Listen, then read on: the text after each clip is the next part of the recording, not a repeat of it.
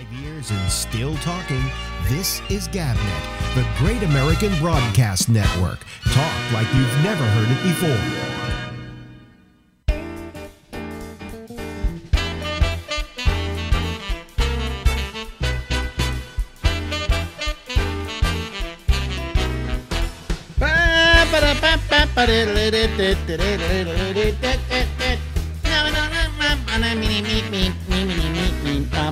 Hello, everybody. This is the Ramble. We go from now until midnight Eastern Time here on the other coast of the United States, on the East Coast. And I am your host, Alex Bennett. How are you? You know what I haven't done?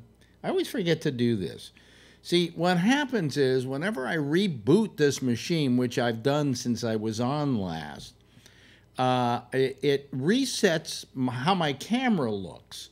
And I don't want it to look that way. Okay, so I have to go to the camera, and then you're going to see it go to see see what the, happens there. Th- This is uh, this is uh, Logitech. They don't do things right. Now we're there. We're good for that. But then I got to go. See, I got to go over here and bring the uh, video down. There we go. Okay, now we're. I think we're okay. All right. I think we're fine. Oh, I also have to turn off the autofocus. Otherwise, it will go blah, blah, blah. Okay. So, I'm sorry. I forgot. Okay, I forget every time. That's the way I am. I forget these sort of things.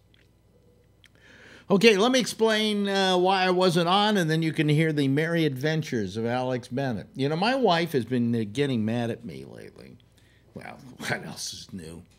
Because she says that the why is it you tell everybody what you're going through with the thing, with the cancer thing, the prostate cancer daily And I go, well, because uh, I uh, it's uh, important to me to let my I've always shared my life with my audience. It's just part of my shtick. And so when something like this happens, boy, I got a lot to talk about, you know. So why shouldn't I let them know? The only problem is, and I've said this before, and please, folks, you don't have to do it. Don't wish me lots of luck. Oh, our hearts are with you. Oh, I better turn that on too. Otherwise, I'm in trouble. Oh, boy. Uh, anyway, uh, uh, I just, I just, you know, I let my audience know what's going on in my life, and it's also a fodder. It gives me something to talk about. I'll have something here for about a half hour that I can talk about that you'll uh, probably be interested in. Um, but but people get worried about the fact uh, that I that I have prostate cancer. And how many times have you heard somebody say, "I've got prostate cancer"? I think Imus said that, and he lived another ten years. Okay uh, and died of something else, I think. They didn't say what he died of. Uh, and uh, let's see here. Who else is? Oh, um, uh, Rudy Giuliani went through prostate cancer about 20 years ago. And everybody, oh, Giuliani's got got cancer. They don't say prostate cancer. It's got cancer. You know, like all cancers are the same. And Rudy Giuliani is still alive 20 years later, thanks to the guy who was treating me. Okay.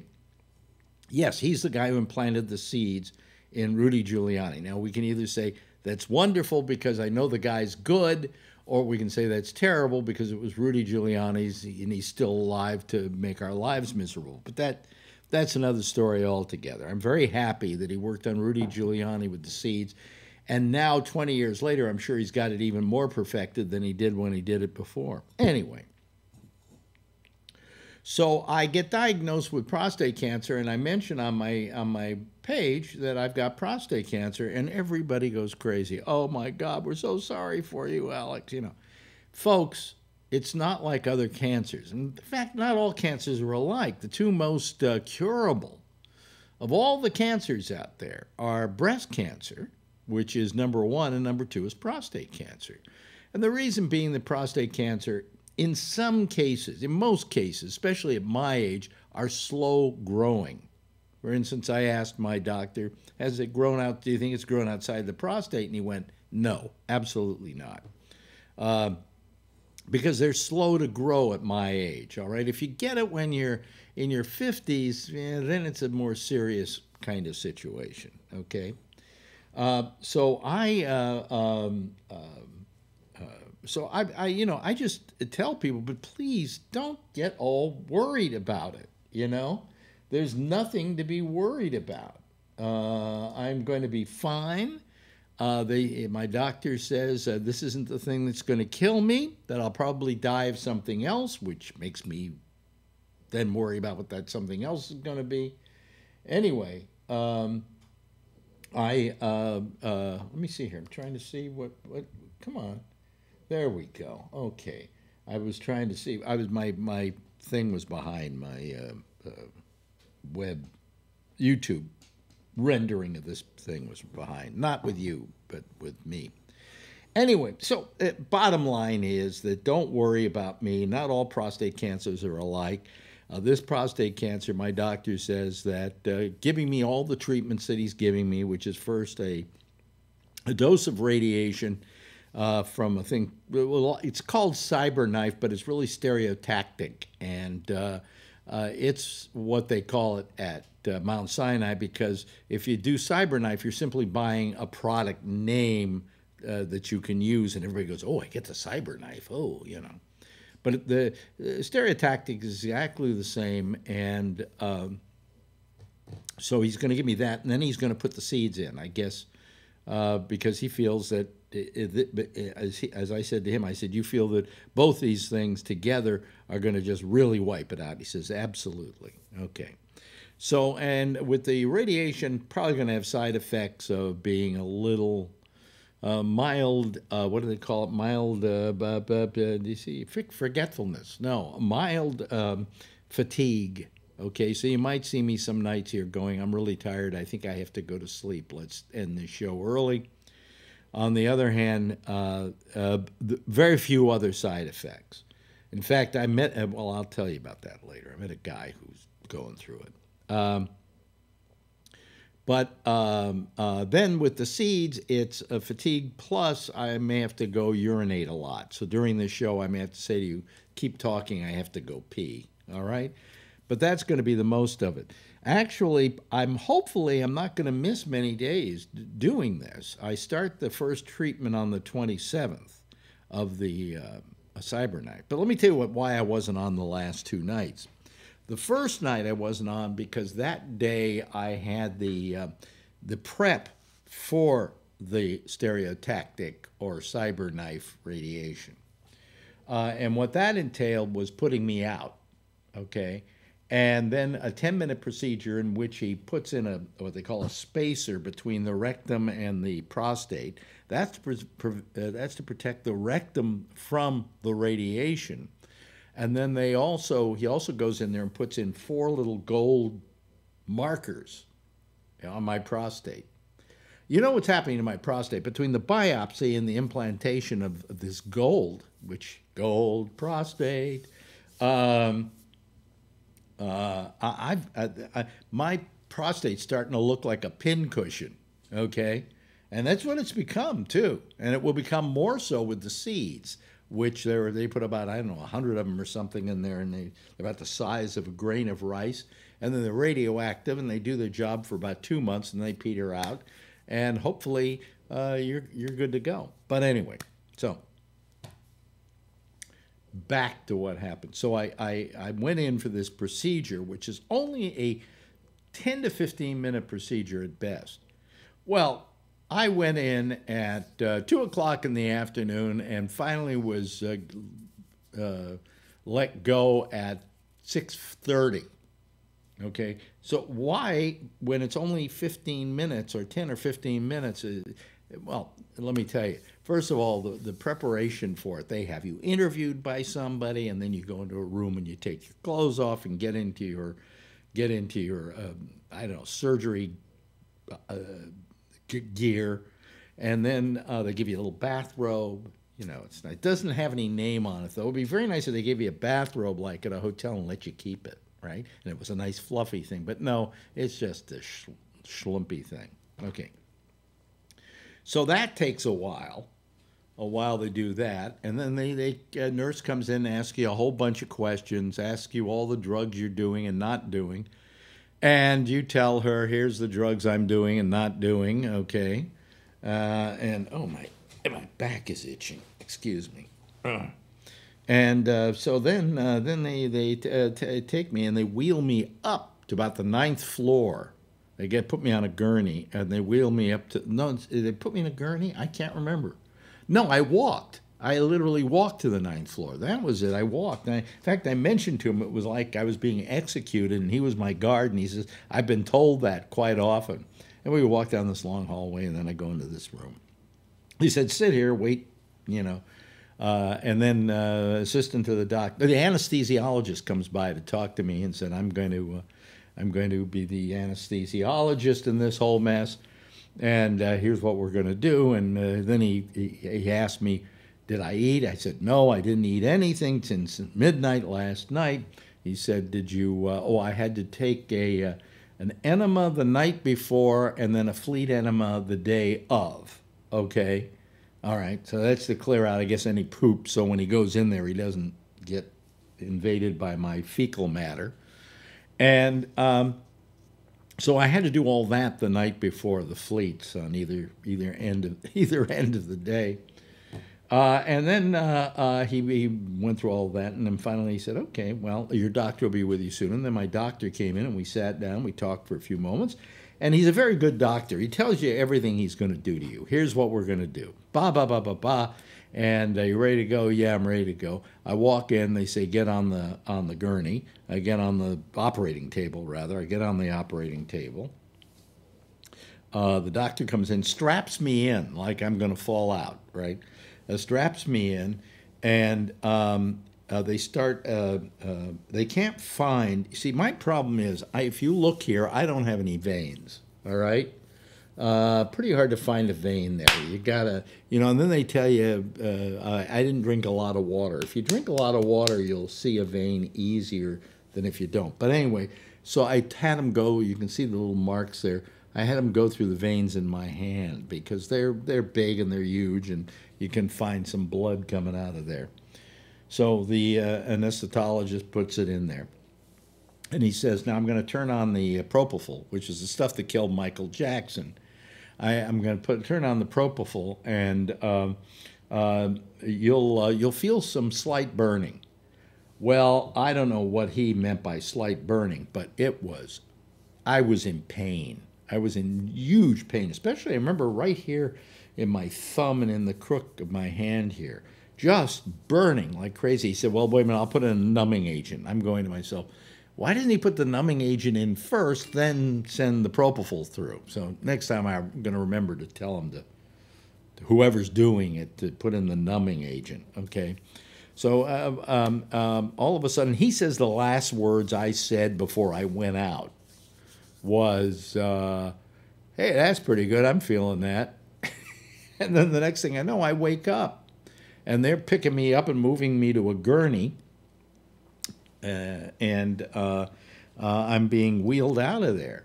Um, and um, you would think that, okay, because before I've had this before, and, and when I had a, a, a colonoscopy, and um, I, when I was through, they just said, oh, okay, that's it. And I get up and I walked out of the uh, operating room and walked into another room, sat down for a couple of minutes just to kind of get in decent enough clarity that I could put my clothes on, put my clothes on, and leave.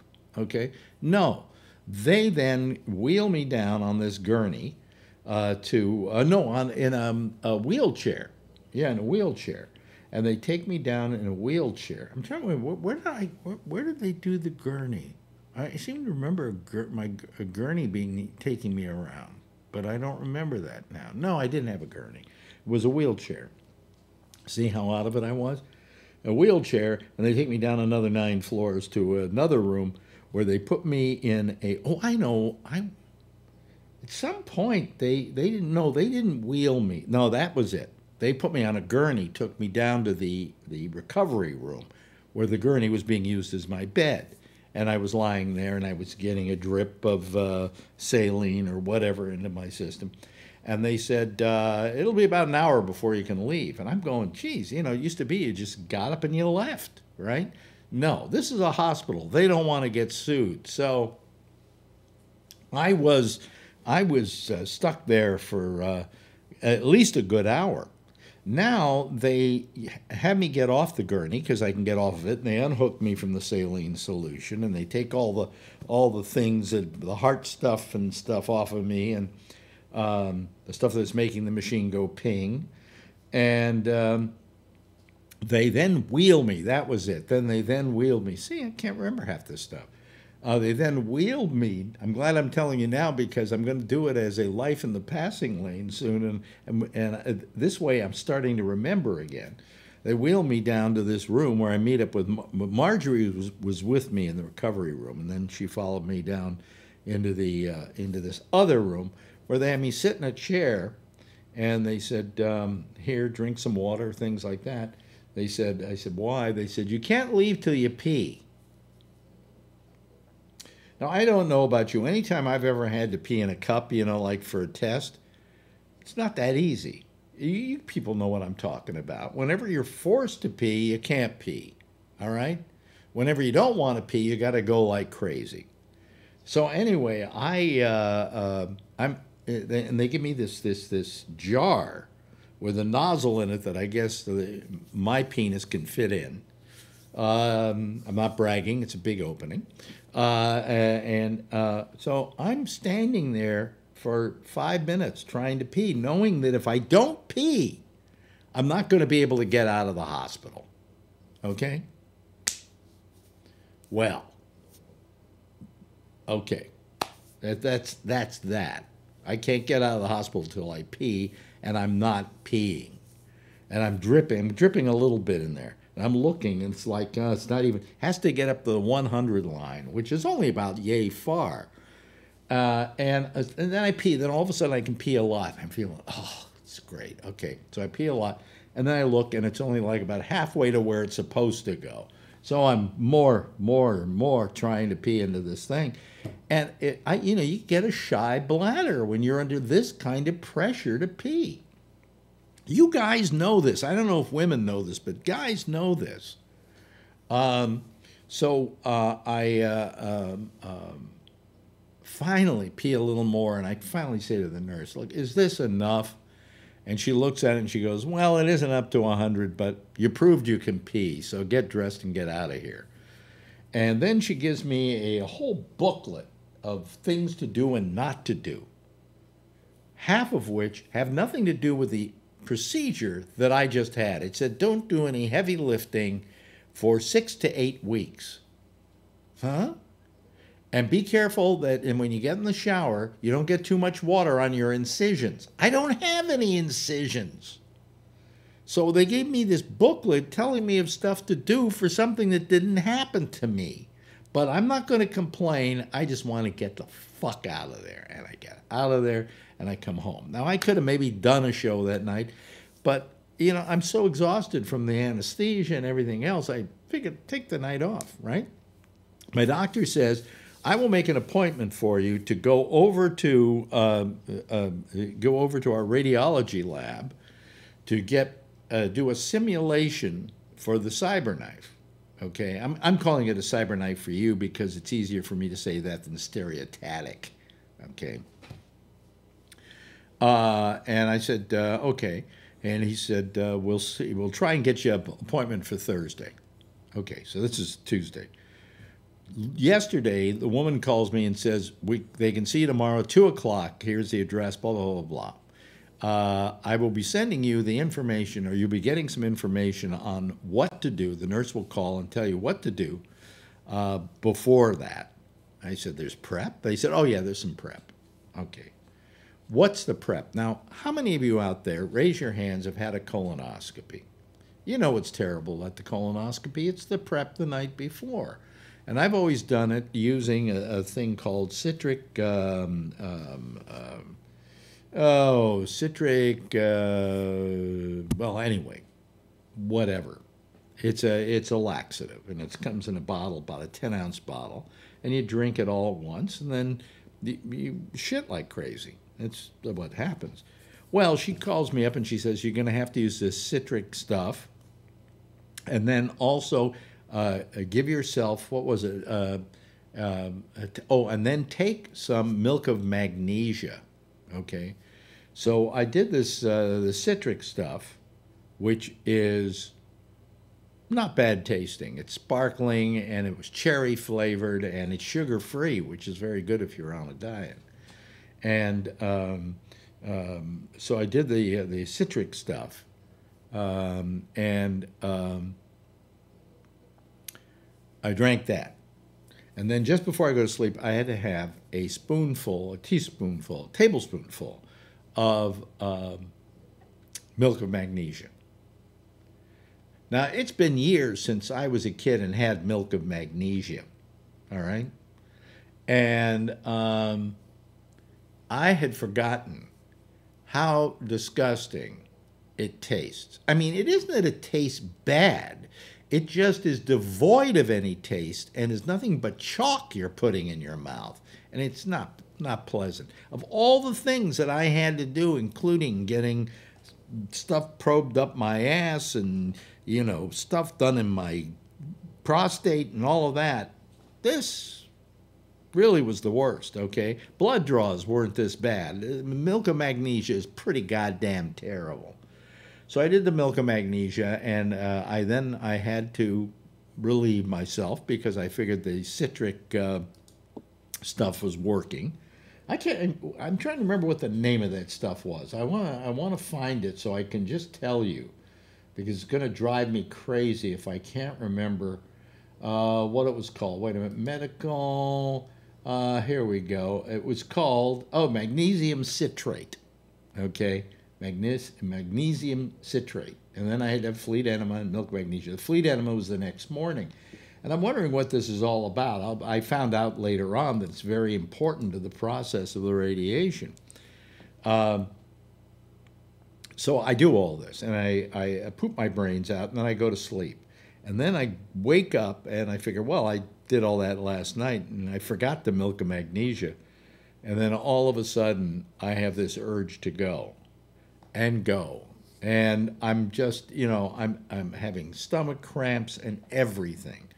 Uh, this is in the morning. Uh, but I, I, I bear with it and keep going. And I finally get to the point where I'm not bothering it anymore. No American Patriot, not citric acid, magnesium citrate. Uh, yes, uh, Scott Boddicker, you are absolutely right. You win the uh, the Gabnet prize, which is 20 Gabnet bucks. Um, so anyway, so I do all this stuff, all this shit, and uh, uh, I go there today at two o'clock in the afternoon. I got to tell you, I went to the radiology oncology department at Mount Sinai, and this is where they do all the prep for the radiation. The radiation's not going to be done there. It's going to be done in another building. I think probably away from everybody else so it doesn't hurt people because it's all radio, radioactive. Anyway, I go to this place and I've got to tell you, I've been, I, I had to do deal with the other part of the hospital, okay?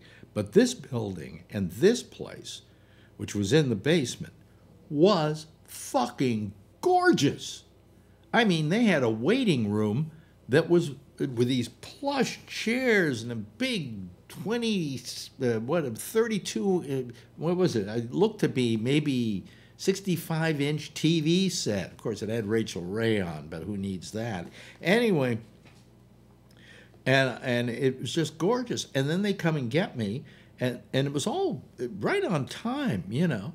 And they, they take me in, and first I'm, I'm, I'm met by a guy named Billy, who was very nice to me and said, Go into this room here, and somebody will be with you shortly. And then, very shortly, I'm joined by a woman. I'm trying to remember her name now but she was very, very nice, uh, really terrific. Uh, and um, do I have her name here? No, well, I don't care. Uh, anyway, uh, and she gave me all the dietary requirements, which she said don't eat any gassy foods. And here's the the reason why is that we don't want gas in there. We don't want your innards bloated because we have to get our radioactive stuff through your stomach and so on to get to the, I whatever. Uh, and I said, What does that consist of? And I look at it, and it's just no carbs. Well, Come on, that's my diet anyway. And I told her, I said, I just, I do nothing but low carbs.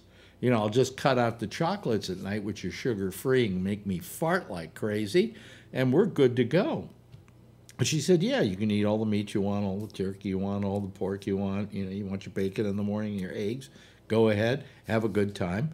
Uh, just don't have, uh, you know, th- these certain things and this certain things and I got a whole list of them, and and it was absolutely the kind of diet I've been on for so long now. Uh, and um, so, and anyway, then then another guy comes in, and he leads me. Says, "Come with me." And I go with him. He leads me down this hallway, and I'm looking at this hallway, and there are all these people working at computers, and it's gorgeous. It is the state of the art. It's like I'm at, at NASA and this is mission control. I mean, and they, I just walked down all the way. Oh, and by the way, while this is before this went on, when I before I walked down the hall, my doctor actually came in, my oncologist, and uh, he wanted me to sign a piece of paper. And he said, "How was the operation the other day? Have any problems?" I said, well, "My butt ached a little bit because that's where he went. I Did a lot of stuff." And I said, outside of that, I think I feel okay. Yeah, I, they, I, I survived that all right. And he said, good to hear that. And he said, so then he was there for this whole simulation, not in the room with me. He was in a control room, overseeing the whole thing. And I figured, you know, once I was sent over to the radiology lab, that was the last I was going to see of him. He just gets the reports. Hey, we, we, we zapped him with the radiation. But that was that isn't the case. He was there, and I really appreciated that. Really appreciated that a lot. Um, anyway, so we go into this room, and they say, "Okay, this is where we're going to do the simulation." First of all, they put me down on this on this gurney in front of a CAT scan, CT scan, and uh, uh, I'm lying there and uh, they say now we're going to put some stuff under you okay? And it's going to be warm. And they put it under me. And what it is is it's plaster. And while i'm lying there they're making a mold of me so that when the next time happens that i go to them or i get the thing happening they bring out my little mold put it down on the gurney put me in the mold so i don't move. Okay? Isn't that cool? There is now a, a representation of the lower half of my body uh, hanging somewhere over at Mount Sinai waiting for me to use it. And then they said, they then did a CT scan of me to look at my prostate.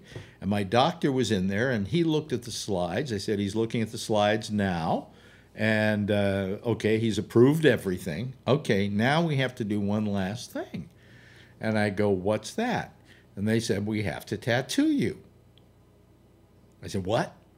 He said, Yeah, we have to tattoo you. Um, let me show you.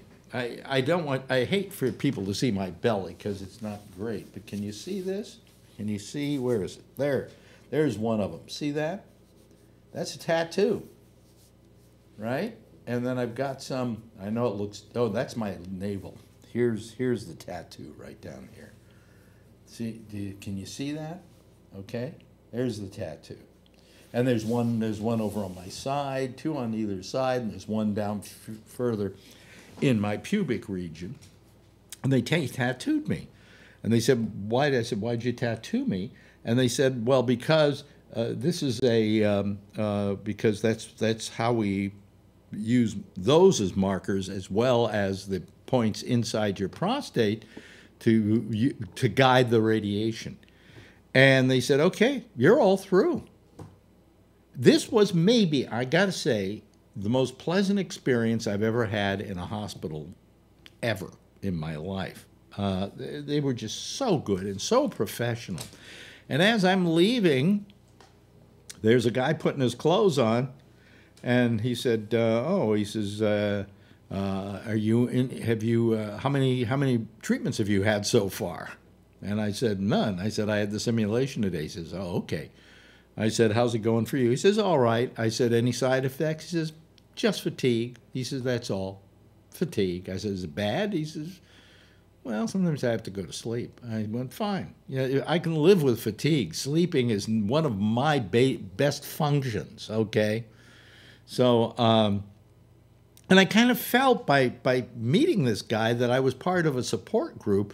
And I, I look on the billboard there, and there's actually a support group. If I want to go at 10 o'clock in the morning to Mount Sinai, I can go to a prostate cancer radio radiology support group uh, of which I'd probably be the only one there. But anyway, I uh, uh, I found it so far one of the more pleasant experiences. Although the tattoos probably hurt more than when they drew blood from me today. You know, every time I turn around, somebody's sticking a needle in my arm. Uh, and uh, anyway, that's my uh, that that's a, a quick story. Quick story. Was nothing quick about it and I'll probably repeat this all again. I'm going to do it as a uh, another episode of Life in the Passing Lane, at least each step along the way on this uh, really fascinating journey. Because what's next is, for me, the science fiction of my youth. I mean, I'm going to be in a room with a robot arm that is going to use the gold points in my prostate and these little tattoos they put on here to figure out where to go. And um, Oh, the other thing I had to drink was four glasses of water. They're going to say you're going to have to do that every time. Also, you're going to have to do the milk, milk, milk magnesia at night and the fleet enema in the morning. But you can eat anything you want. You know, we don't care if you eat um, uh, after the enema and stuff because it's going to take forever for that stuff to get down to that part of your body. We just don't want that area blocked and we want it as clean as possible. So, uh, you know, they, they ask you to pee and to go to the bathroom before the whole thing just to clear everything out that might be in there because you're now going to have to drink four glasses of water and that's going to kind of fill you up and they want that to take time to get there. Anyway, uh, you go in there, you lie down. I, they, oh, best part, they said, uh, we can put some music on for you. Anybody you'd like to hear? And I say, well, Frank Sinatra. I said, uh, what do you have? And he says, oh, anything you want because we got Spotify. They subscribe to Spotify so that they can play music in there. It wasn't loud enough, so I hardly heard anything. But still, they play the music you want to hear. Uh, it's it it's just a wonderful, nice process, you know, that is made nicer by the people who I was dealing with today and uh, um, uh, let me see here. I think I have her name here, right here. Is this it? Is this it? Maybe not. This may be my doctor's. Uh, no, that's my doctor's card. Hold on a second. Where is the other card? Uh, gee, I don't know. Hmm. Oh well. Let me see here. I I did have it. Uh, oh well. Hmm. I don't know where, the, the, I have the card around here somewhere. Wait a minute, hold on. Just stay there. I just, I just want to give her credit because she was so nice to me. Uh, huh, I don't have it. Hmm. Well, that's strange. I, I, I thought I put it down here earlier, and I guess I didn't. Um, but uh, let me see here. No, no. No. Where the heck did I put it? Well, that's going to drive me nuts for the rest of the night trying to remember where I, I put her card. Anyway. So, uh, but anyway, uh, uh, thanks to her, whoever she was, and I've got her card, and I have no idea where I put it. But I know it's here because I had it earlier. Okay. Anyway, let me just get this uh, this going here. Let me get Skype up. So if anybody wants to call me about this uh, or anything else, you know, you're more than uh, we're more than happy to have you do it. Okay. Well, how long is it going to take for Skype to? There we go. That should do it. Okay, there we go. Now it's taking a while. Come on. There we go. Now there we go. Okay. Whew. Wow, it took a while. Well, He's probably going, I haven't seen you in a couple of days. Fuck you. That's what, what uh, Skype is doing. Wish I had that person's card because I just want to thank him. Oh, well. I have my doctor's card here, but that's, that's it. Hmm. I'm sure the other card is here somewhere. Anyway, where are we? Oh, okay. Here comes Scott Boddicker, ladies and gentlemen. Uh, hello, hello, Scott. Wait a minute. We've got some kind of. Um, um, there we go, Scott. Good. Okay. All right. Let me see here. Charlie Wallace. Let me put him on here. Um, uh, put him in the second place. Um, let me see here.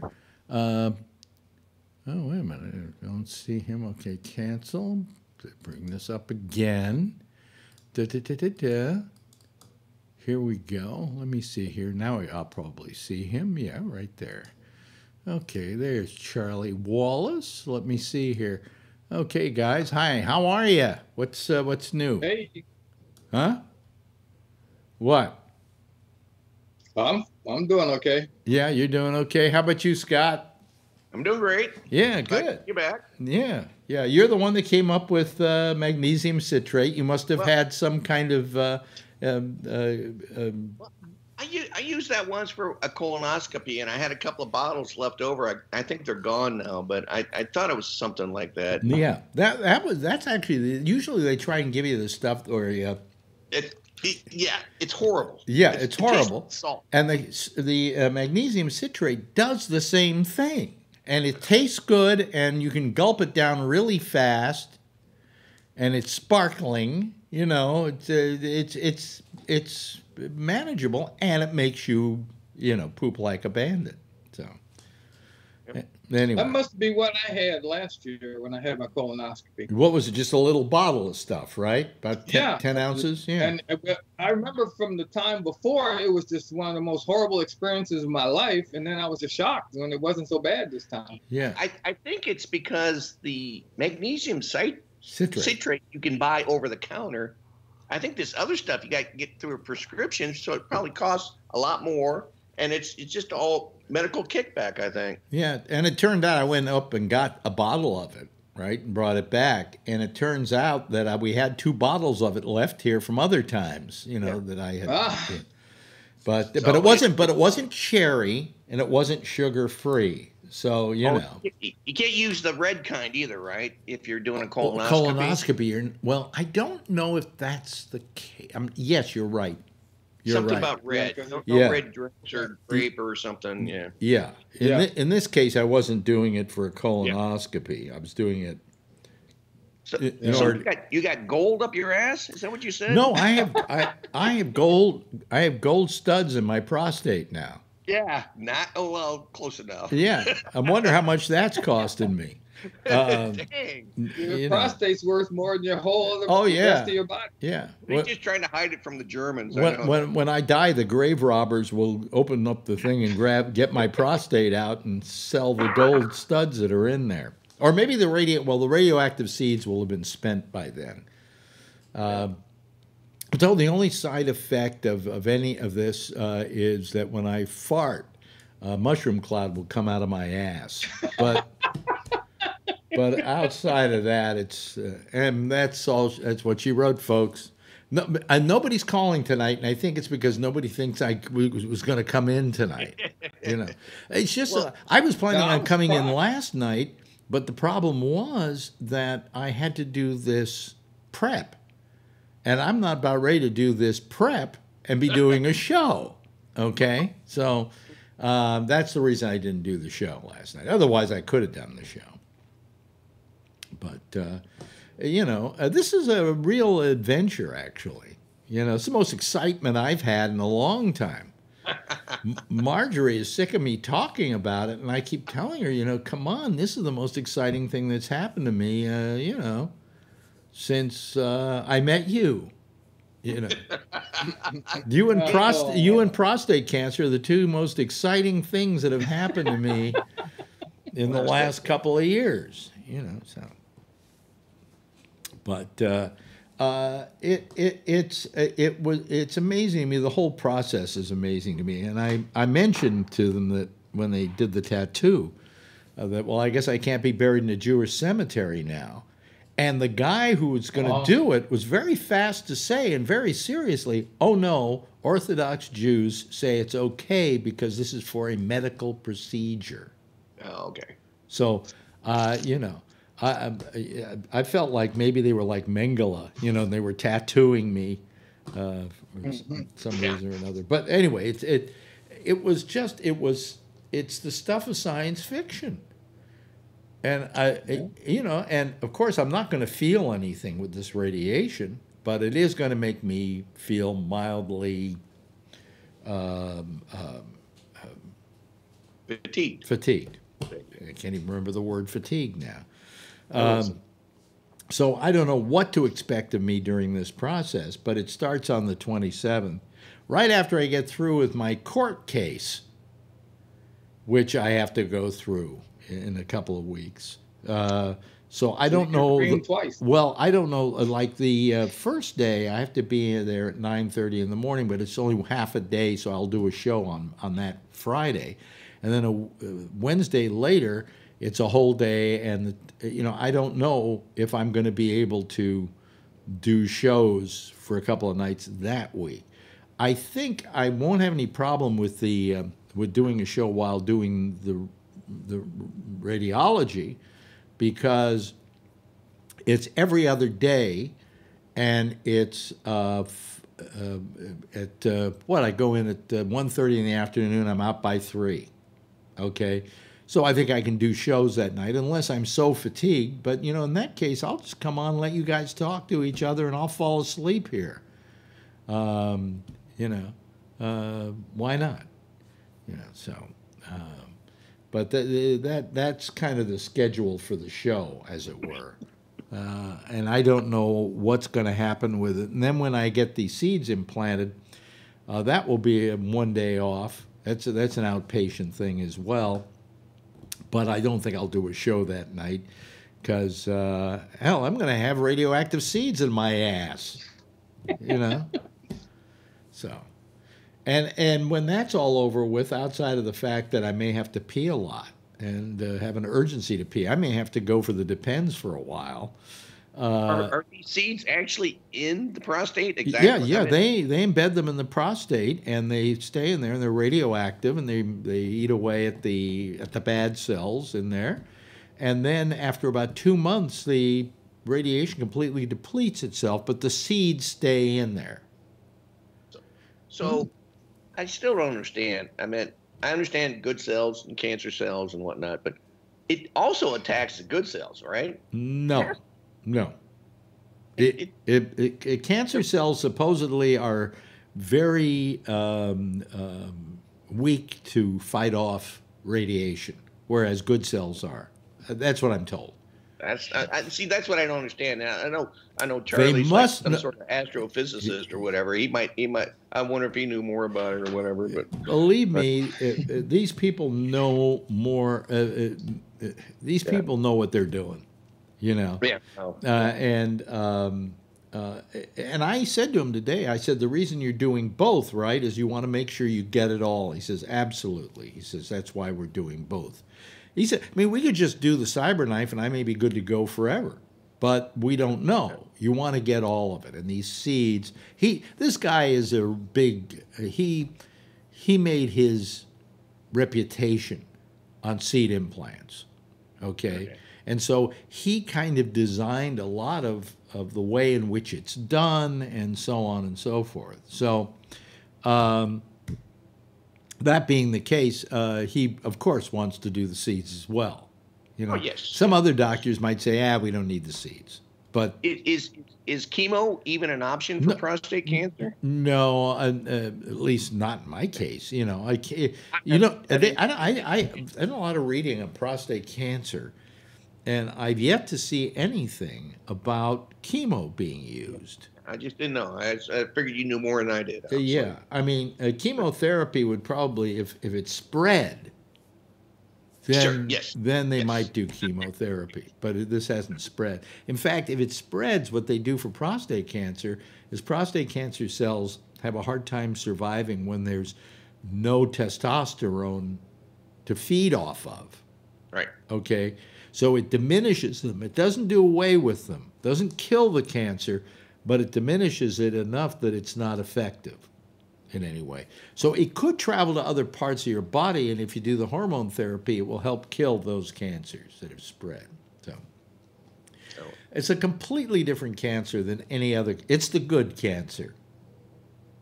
No, I got the good cancer. What's that?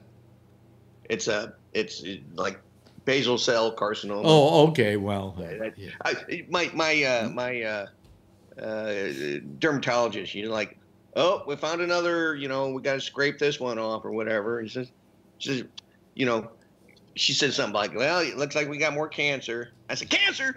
She goes, "But it's good cancer, like you it's said. Good it's cancer. good cancer. It's good cancer. It's not the uh, mela whatever. Melanoma. Oh, I I had a uh, friend who died of melanoma. Yeah, that's that's the bad. Yeah, skinny. that's the one that just eats away at you. You know. Yeah, spreads. Uh, and you get those from a lot of time in the sun, I think. I did. I've done a lot of time in the sun, so yeah. I'm well, looking forward to it. Yeah, basal cell is pretty. I think pretty common, if I'm not mistaken. Yeah, it's like I believe. I believe uh, it strikes ten percent of the population. Yeah, yeah which is pretty common. So anyway, but uh, but people just got so panicked when I said I had cancer that I was almost sorry that I even mentioned that I did. Yeah. You know, because well, we all know somebody that has had cancer. Yeah, but um, you know, and this cancer, if I if say I was in my 60s or maybe early 60s, like Phil, it's a good example. Uh, it's much more dangerous at that age than it is at my age. Yeah. At my age chances are, if you live to be 80 years old, you you have a 70% chance of having prostate cancer. Now, mine's a little more aggressive in that it's not low risk, it's intermediate. But you can get low risk and whatever, and it's very common after the age of 80. And the com most common cause for prostate cancer at my age is the age. So, and when you reach, oh, by the way, when you reach 90, if you live that long, chances are 100% you'll have it. You know, so. Forward to, I'm looking forward to hit 90 then.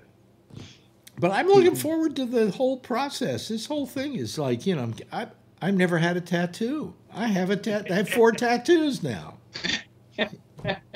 and and the cost is cheap. Your medical is doing good enough for you. Uh, I think so. You know what happens is they always send me a thing that says it costs this much, and you may owe your your provider provider blah blah blah. There's these copays are killing me. I'm spending hundreds of dollars in copays. Oh yeah. Oh wow! But but and and I'm fully insured. But I mean, after everything is said and done, there's still just a little bit left over that I've got to pay. And I'm just expecting that they will say, well, the whole thing cost $20,000 because that's about what this this radiation is going to be. And then the next, oh, I think it's $29,000 is what Medicare has it billed at. Okay. Oh, wow. So they're willing to take care of $29,000 worth or my, uh, uh, my sub, uh, what do you call it, the uh, supplemental that I have has to, if, if Medicare takes it, they have to pay for 20% of it. That's it. But then they'll send me a thing and they'll say, you owe so much. I imagine it'll say, like, the cost was $29,000. You may owe your provider $3.19. like my uh, little brother, he just went through some cancer last year. Yeah. It was uh, throat cancer, so he had a lot of surgery, and you know yeah. they took his larynx. It's pretty, pretty, pretty brutal cancer, but uh, I think he said it cost three hundred and eighty thousand dollars, and with his insurance, he had to pay the deductible or whatever his or his wife's. I think he said it was like either fifteen hundred or twenty five hundred dollars. I mean, it was like it was like basically nothing compared to the overall cost of it. But yeah. Yeah, I think this. I think I may be wrong, but I think most of this is taken care of because my because Marjorie had uh, had major surgery, and I'm trying to remember what it was exactly that she had. Now, here comes Tom Yamaguchi. Um, I can't remember what it was exactly that she had, uh, but it was. Um, uh, let me put Tom in here. Hold on a second. Uh, I'm trying to remember what she had. Uh, uh, there we go. There's there's Tom. Okay, hold on. Tom, wait a minute. Oh, there. I should put my glasses on, shouldn't I? and here comes Tony Magno. Um, let me see here. There we go. Tony. So I go over to this and I go hit, put him in the number four slot. And we go Tony Magno. Uh, which one is he now? Webhead. That's it. Okay, there we go. Uh huh. There we go. Okay. Uh, no, what I was saying, she had something. Oh yeah, it was her knee, and I think it was like oh. a fifteen thousand dollar operation, and she didn't have to pay any copay at all. So I don't know. There may not be any copay on this, but if there is, I guess I'm going to have to pay it. But you know, I mean, what? Not save my life? You know, so what the hell? What? I, I forgot to ask him the one question. What if I don't do anything? How long will I live with this? And I bet his answer would have been, "We don't know. You could live another ten years with it this way." You know. Yeah. yeah but you don't want to take the chance. Hello, hello, Tom. Hello, Tony. How are you two guys? How, hanging in there. Huh? You hanging in there? Yeah, my. You're gonna laugh. My sister went to a psychic tonight, a fortune teller. With the ladies from work, the teachers, like a dinner, and then they read your palm or whatever. I didn't go. They wanted me to go, but I didn't go. I know you don't believe in that. I don't believe in it either. Well, I could do it for her. You know, I mean, I could say the same stuff. You're gonna you're gonna come into some kind of money, and I see happiness yeah. in your future. Now, you know, because they're never going to tell you something horrible like, "Oh, let me look at your palm. Oh, you're going to die within a week and a half." They're never going to say that. Nah, she actually, yeah, she had a she had a good reading. They all did, like you said. The only thing that she did say that my sister said is, she said she said like you know they say the names. She was she wrote down what the lady told her, and she called me, and she said, "Is there a joy? I'm hearing a joy." Like you know, and my sister that we have a cousin Joy, an older cousin. She says is her health okay? And I'll tell you, Alex, she did have a problem with her health because she's diabetic. See, but here, here, here, here's the bullshit of it all. How do you think she got that name? To, to begin with, she never, she didn't say, um, uh, you have somebody named Joy in your family and she's going to be better or whatever, right? She, she said, Is there somebody in your family named Joy? And if you go no, then she goes on to something else. And eventually yeah, she will hit, she will hit there's a whole process you do. She here. hit two names though. She did hit Carol, my older cousin I, Carol. Uh, I had away. a guy on. I had a guy on years yeah. ago who was a psychic, and I decided after him that I was never going to have another psychic ever on any of my shows.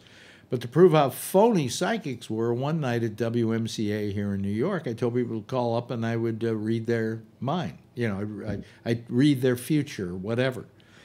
And I was I, I, I, I, there was a psychic there because I wanted to prove that this was all an act. Okay, and he was amazed. He said, "Boy, your psychic abilities are incredible." I said, "No, they're not. I'm simply listening to the person and keying off what they have to say." You know, uh, uh years ago, there was a guy named Peter Hurkos, and he was the psychic in the Boston Strangler case. Do you remember that? Remember that Tom, the Boston Strangler? Yeah. Strangler. Yeah. Remember Peter Hurkos, the the psychic who supposedly figured out who the, the Boston Strangler was. I had him on my show, and he said, um, and I, this is when I first knew that this is how they operated. He said, "I see you married." And I said, No, I'm not married. He said, But I see you married. now, if I had said, Yes, I am married. You go, see what a great psychic I am? Yes, you're married? Okay. Hmm. You know, uh, but no, I see you married. So what they're doing is they're constantly fishing. Uh, they're on fishing expeditions as, as, as they're doing the psychic thing. What are the chances you know somebody named Joy? Anybody here know anybody named Joy? I do. yeah. Yeah. Yeah, you do too, Charlie. do okay. Because I was like, how about, how about you, uh, Tom? Do you know anybody named Joy? I've known several people named Joy. And you know what? Okay. She told so, my mother. Sure. Listen, you want to laugh, Alex? She told my mother, right? And my mother's ready to call my Aunt Barbara and say, You got to contact Joy. She says, Ma, 10 o'clock at night, you got to drive this woman. Because I said, You can't tell her anything. Because she doesn't know anything. Here we go. Because my mom's going to, you yeah. know. But I mean, she, you, you know, uh, uh, so so we, we just found out by by talking to our people here that four out of four people on the panel right now, yeah. with the exception of me. Ah, I got a little when she said that. I was like, really? And then she pulled me in. I was like, you should have came. I was afraid to go because I know she would get me right away. I'd be, I'd be like, oh god, I would believe it. It's a waste of fucking money. Okay. It paid, but sixty five dollars, and she got sixty five dollars. You got a dinner. You got a dinner with it though, too, Alex. Huh? So it wasn't bad. It was like an Irish Listen, she could come to me and I'd do a reading on her and charge her 20 bucks and give her an orgasm on top of it. You know? she, and my mother's all happy now, but I said, Ma, she's going to be fine, yeah. Joy. We know she's diabetic. Yeah, yeah. If she uh, drops dead tonight, I'll laugh. I'm joking. Uh, yes, no, Tom. Tom. Tom. Hey, wait a minute. Uh, okay, okay. Calm down. Calm down, Tony. Tom. Yeah. Yeah, I just was remembering a great documentary came out a few years ago about uh, uh, James Randi. Yeah. Called An Honest Liar. Mm-hmm. If you ever get a chance to see it. Oh, I've seen it. I've seen it. In fact, I know Randi. Uh, I knew him through Penn, yeah. and, Penn and Teller. Uh, when I was living down in right. Miami, they took me over to see Randi. Uh, and he he he spent most of his life debunking these people. Oh, so he was like a Houdini. Yeah. No, he wasn't you know like a Houdini. Yeah. He was trying to debunk all them. these psychics and psychic healers. Yeah. He hated psychic healers. He did okay. You know. Oh yeah, Peter Popoff. Oh well, you asked uh, oh, if oh, if uh, Pat if Patrick would call us. He he. I had him do a number on Peter Popoff that was funny. We wound up having so Peter Popoff have to spend a fortune trying to get money out of Patrick. One time they asked for uh, a donation. So I suggested this, and he sent them $20 in pennies. that uh, was funny. Uh, collect. It's money. you know, because they had to pay for the uh, for the for the money to come in. Uh, and and so it, it cost them about I don't know fifty bucks or something for the twenty dollars in pennies. so, you know that was the way. We, well, you know how, how they got Popoff. Uh, Randi got Popoff. He and got him. How he got him was he he he realized that he was using a radio transmitter, and his wife was backstage and she had been kind of talking to people in the audience before the show started and was able to get information about them. And then she mm. would be on a radio frequency and be calling, talking to Peter through a through an earphone, and telling him, uh, "Oh, that woman in the front row, go see her. She has a husband named Bob. He's sick. He's got cancer." Okay, and she he would go down there and do it. Well, uh, Randi heard about, uh, figured that there was something like that, and that he got a radio guy who sat around playing around with frequency analyzers and found the frequency and found the audio. Oh shit! And then he recorded it. He recorded it, and then he took it and synced it to the TV show. Oh my god! And uh, there you go with Popoff, and you can hear his wife saying, the guy in the front row, and you see him heading for the front row, oh, you know, God. and he's the one on the end. Yeah, his name is Bob, you know, and he, she goes, uh, Your name's Bob, right? You know, and uh, it, it killed Randi. He went on the J- Johnny Carson show with the tape and ruined Randi's career. Uh, not Randi's career, but uh, Popoff's career. Peter. Uh, yeah. But there were still people who would follow him. You know, when we finally caught up with him with with my Patrick stunt, uh, he uh, he was still going. He was still doing his thing. You know, and I hate people like that. I just hate them. I think they're they're they're the worst kind of people in the universe. Yeah. That and and and urologists. But anyway. No, I like, I love urologists. One urologist saved my life. Okay, thank you very much. Yes, thank you. Yeah. The college degree came in handy, tell them. Yeah, but huh, why do you want to keep sticking your finger up people's asses? I wonder I if they pull no in the ear out. Do you think they do good money? What are they pulling here? I don't know. I'll tell you, you, you're going like that, Scott, but I don't know if doctors are making the same kind of money they used to make. You know, um, and and part of the reason for that is is that they're they're uh, it's a question of what they're going to. They have to be able to take insurance money. They have to be able to take Medicare, and what they get paid by insurance companies and Medicare is a fraction of what they charge. I mean, if you go in there, you're not insured, and you pay full price. Uh, it, they love you. They love to see you coming. Oh, they want okay, it's more. Yeah, but if they're dealing with an insurance company, the insurance company goes, "Well, this is all we'll pay," and so they just pay that. And so a lot of these doctors are hurting. I mean, uh, a lot of them are going to HMOs and stuff where they get a salary. Um, and um, uh, my uh, my uh, oncologist is at as is at Mount Sinai, and I think he is hired by Mount Sinai. He's paid by Mount Sinai. Now, whether he can negotiate because he's kind of a star oncologist, you know, that whether he can negotiate more money than other people would, I, I have no idea. But you know, but it's uh, you know it, it, it, it still it's it's very expensive. I mean, uh, what medicine costs today. And you know, I go into the hospital and I'm going walking down the hallways and I'm seeing all mm-hmm. these machines there and all these litter, you know, these gurneys and and I'm going, how much does it cost to keep a hospital going? Mm-hmm. And they're doing this all off of insurance money and Medicare. Mm-hmm. And it, and if you are a uh, if you are a, um, uh, uh, a urologist, all your people, for the most part, are older. And so there, you have to take Medicare. Yeah, that, that would be, yeah. Yeah. You would think, yeah. Yeah. Anyway, so, uh, but, uh, you know, uh, who knows how much this is going to cost me? Maybe if it's several thousand dollars, I don't care. It's my fucking life, you know. Yeah. But I don't think it'll cost that. I fully expect to see a thing saying, and you you you pay your provider, you know, thirty five cents. Yeah. So I don't know what that's going to be, but uh, anyway, so I, uh, you know, this is another adventure. I guess this is the most exciting thing that's happened to me. I guess. Now is it all done to chemo, Alex? Are oh no, done? no, no chemo. Oh, I'm sorry. Oh, radiation. No, I haven't even started. I just got tattooed today. Oh, I thought you were starting today. No, I got tattooed today. Oh. Okay. I have four tattoos. Oh, also, nice. So I'm guessing you're starting next week then, also. No, I'm starting on the 27th. Oh, okay. Yeah. So they'll be over fast then. Oh, five days, but every other day, five days every other day.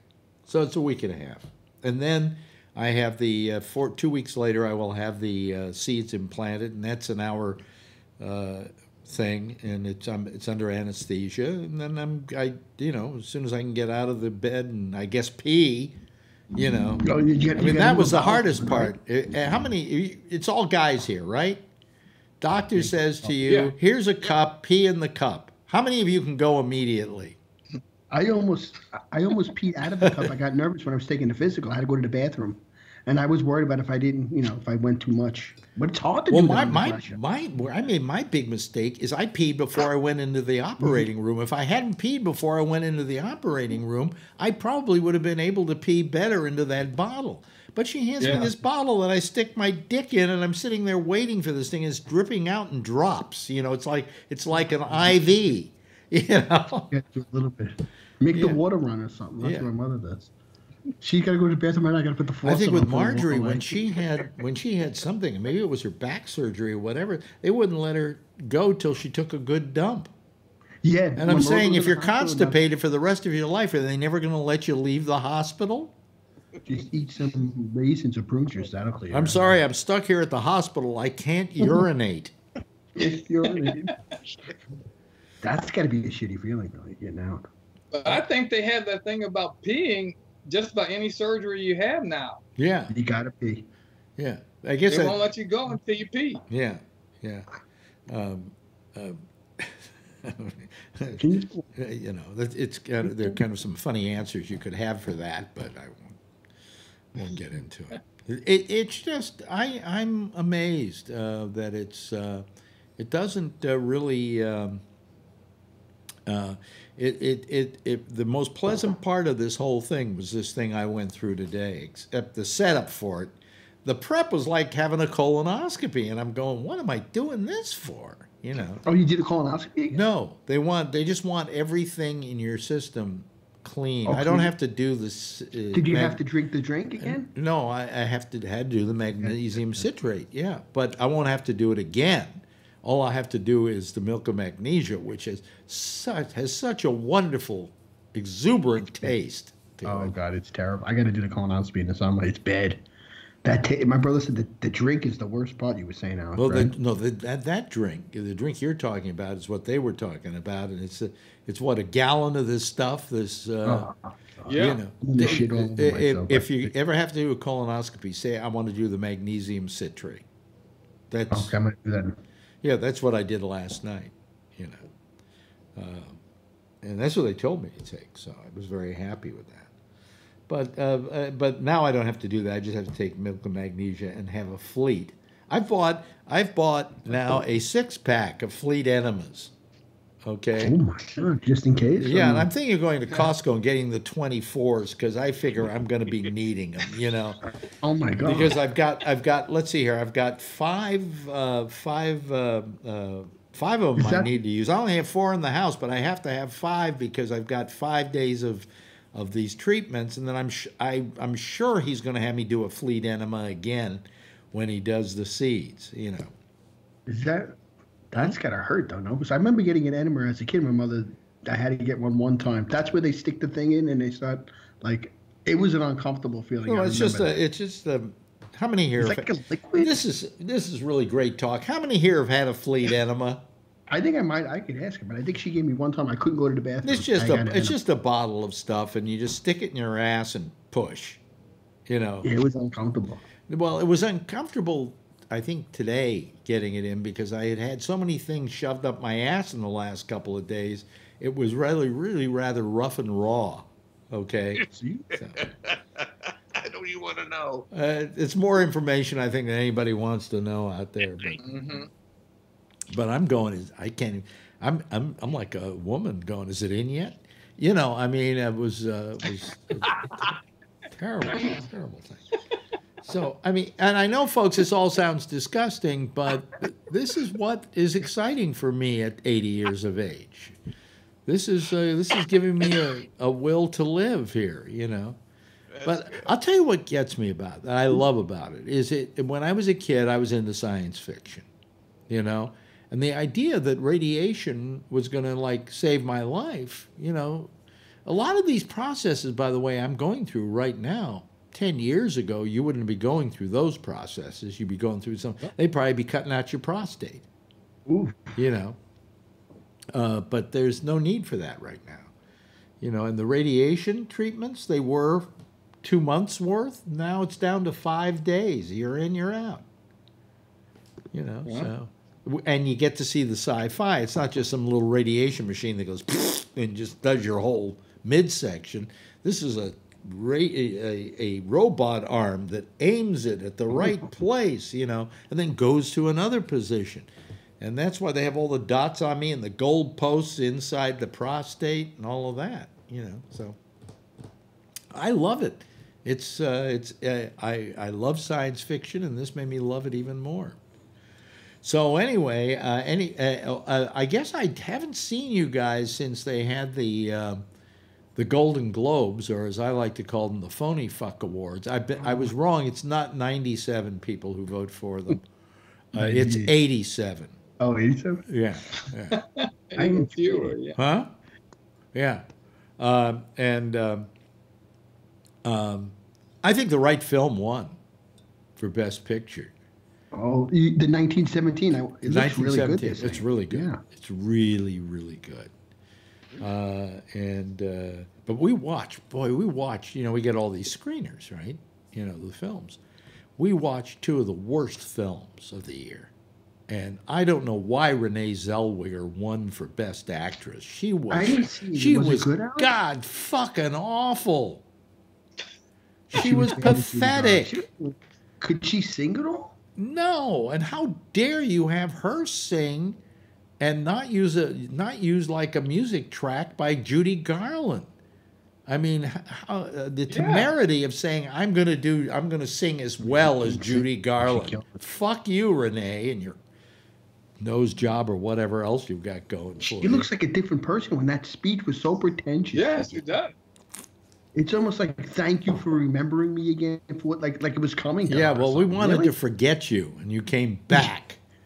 You know, she, and I want to uh, see it, but now you're telling me she ruined some portrayal. And by the I way, I, I, I want to take something back. The night before yeah. the, uh, night before the uh, Golden Globes, we rewatched Once Upon a Time in Hollywood. We went to the theater to see it, and I wasn't I wasn't that in love with it because. Oh, I liked it. Well, I wasn't that in love with it because I guess I was over expecting with Quentin Tarantino. And uh, when I left, I was un, I was not happy with the film. I, what I said was, it was the, the worst Quentin Tarantino film, but it wasn't a bad film. You know, it, it, for for anybody else, it's a great film. Okay, so we watched it again, and I this time I came into it with my with the with the feeling that I had had about it, and walked away with a much better feeling about it. And I think it's really a very good film. It's still yeah. it's still Tarantino's worst, but for Tarantino, that's still great. You know. So Alex, do you think the ending was a little too much over the top, or no? Could no, I, it's like top? it's like he always does. He he has always in some of his films yeah. reinvented history in the in. Uh, uh, Glorious Bastards, uh, Hitler was killed by Brad Pitt. Come on, you know. I mean, uh, Hitler dies in that theater. Uh, that's not the way Hitler died, you know. And so the fact that this thing, I won't, I won't ruin it for people, ends no. differently than it ended in, in real life, uh, is kind of an interesting yeah uh, conceit. You know, I, I, I enjoyed it. But uh, 1917 is maybe the, maybe the best picture I have seen. I also watched Once Upon a Time Again at home a second time, and I I liked it the second time. I was wondering if he had additional scenes with Manson that I thought. Do you think he should have put him in a little more, maybe? No, no, or no, absolutely not. No, no, no need to. They shouldn't have put him in in the first place. You know, you know who those kids are. You you know what's going to happen. You know who who's trying to call. It was a missed call from some phone. Well, fuck them. Uh, let me see here. Uh, but uh, um, and then tonight, what did we watch? We watched this film with Jamie Foxx. I'm trying to remember the name of it now. And it's he's nominated. It's a mediocre film at best. You know, a lot of these films are mediocre. I'm amazed that they even get nominated. Oh, I'll tell you what I saw. I'll tell you what I saw.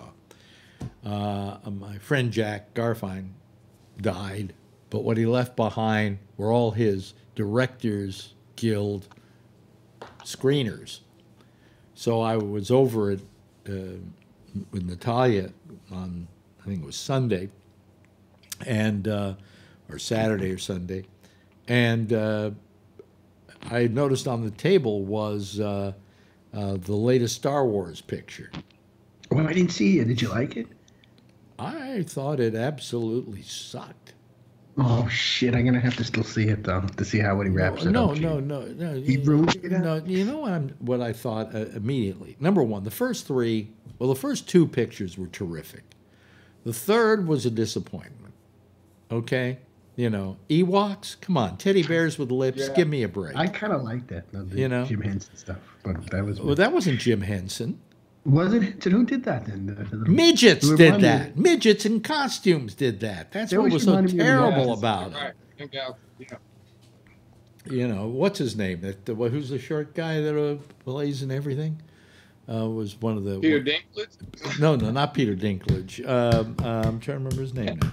He was in. Uh, he was in that other Lucas film uh, about the. Well, anyway he did the show about the midget. His the show he did with. Um, God, my mind is just a blank. Forget it. Just uh, write me off tonight.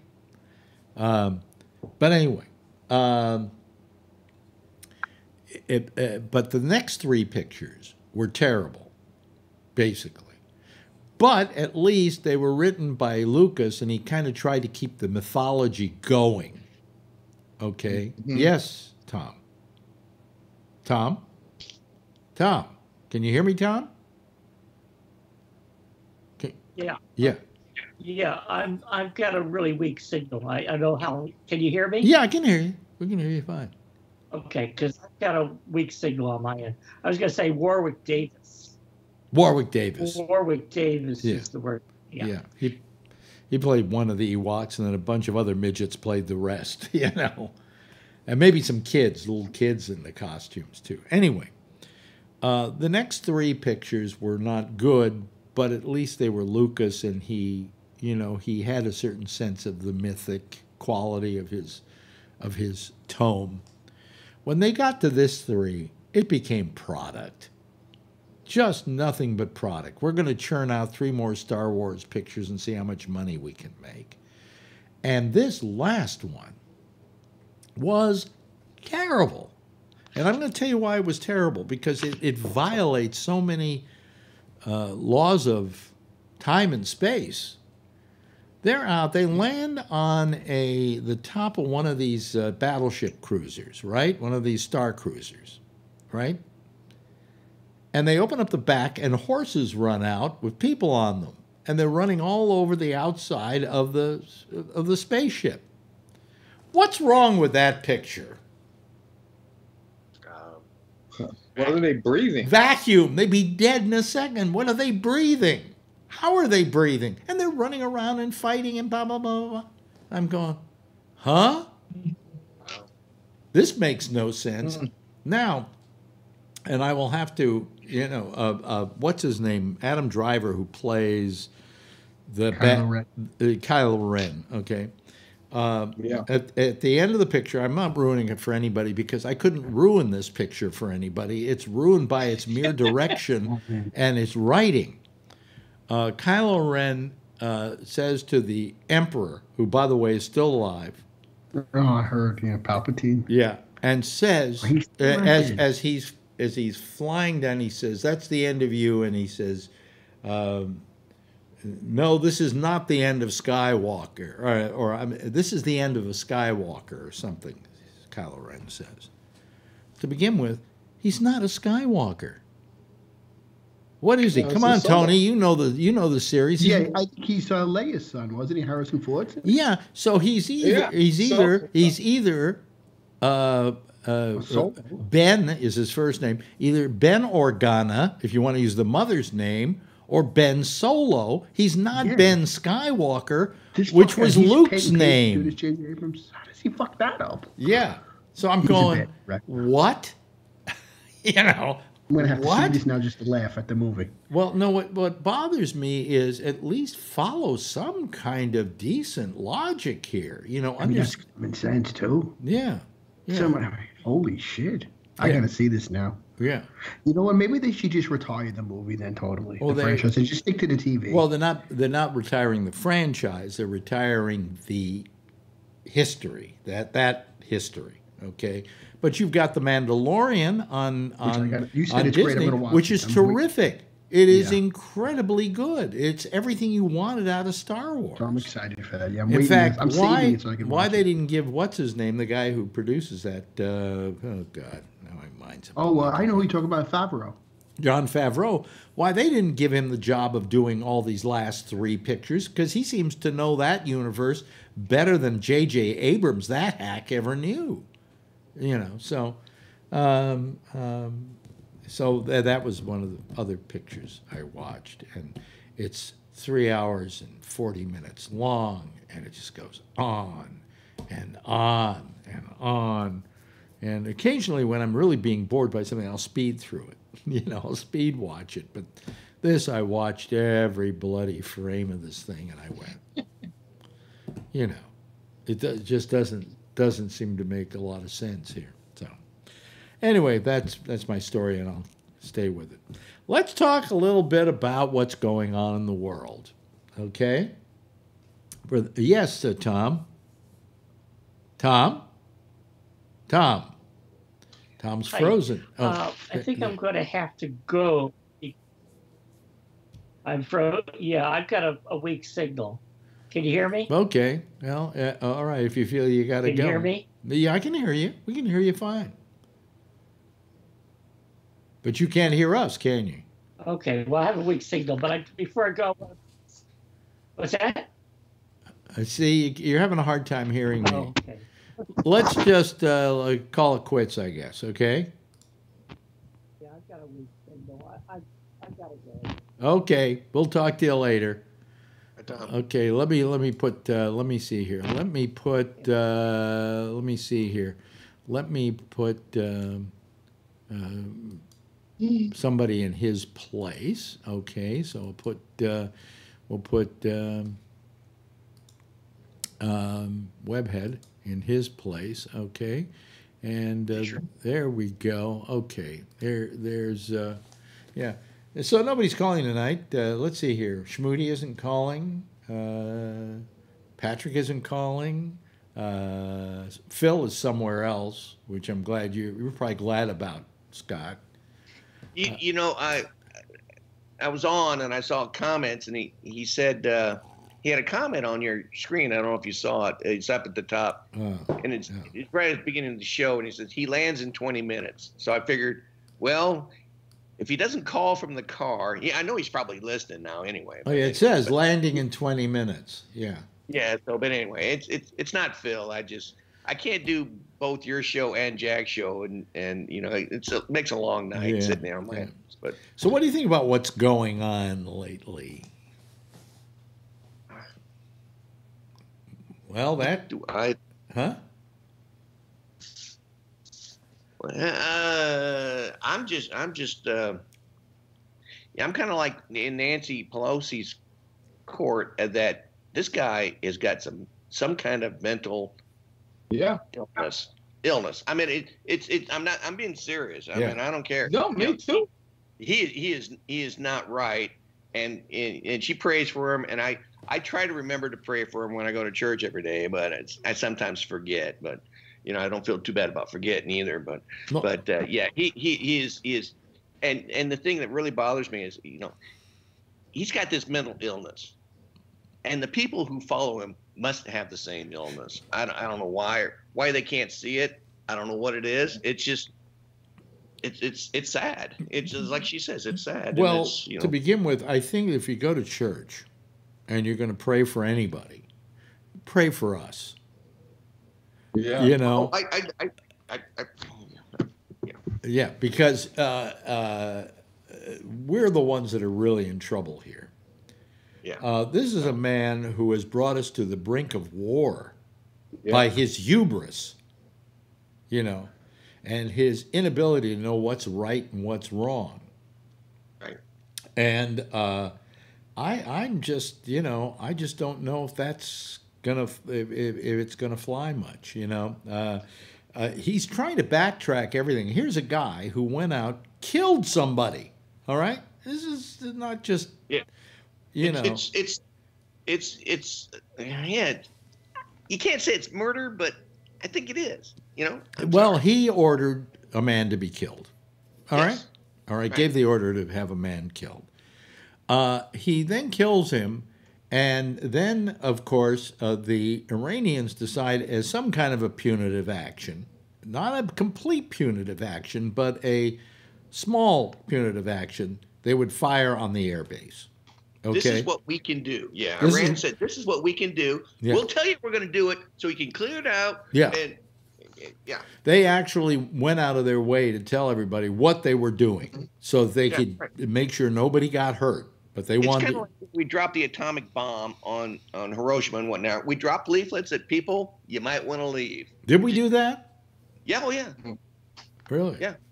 yeah, yeah. They they dropped uh, they they dropped the I didn't know that. in Japanese and is supposed to have warned these people to get the hell out of town. And you know, you can believe us or not, but you know, th- I think the third time they were going to probably drop leaflets on a town, they, they said, well, maybe we got to consider leaf. You know, but anyway, Yeah. I'll look it up. I thought they But did. anyway, anyway, uh, so he starts saber rattling about how terrible it, what he's going to do if they try anything and blah blah blah. And then when they try it, Yeah. he just says, "I'm going to put sanctions against you."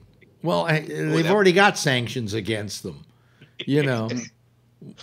what are you, what, what are you going to do? Uh, what more sanctions can you place on them? You know. Oh, and I also liked how he said something like, "Well, now we got to get this deal in so everyone can live with it and be be happy and satisfied." Well, there was a deal in. He just didn't yeah. like you know yeah well here let me let me let me let me backtrack here a little bit because here here's the reason uh, for uh, killing the Iranian guy. Um, what's his name? Uh, Soleimani. Soleimani. Uh, the reason reason that he claims they did it was because this person was responsible for the death of many Americans and was planning maybe on uh, bombing the embassy. Well, uh, you know what what Islamic regime uh, hasn't considered bombing the American embassy. You know, uh, your chances they're going to bomb an American embassy somewhere pretty good. I mean, you've got a pretty good chance that that's going to happen. That's kind of what generals do. They they plan right. things. now, know? first of all, remember that to Soleimani, we are the enemy. All right, mm-hmm. and so what's his job in his position, but to fight the enemy? Yes. So, you know, uh, I used to use the saying that one man's terrorist is another man's freedom fighter, and that's really what this yeah. is all about.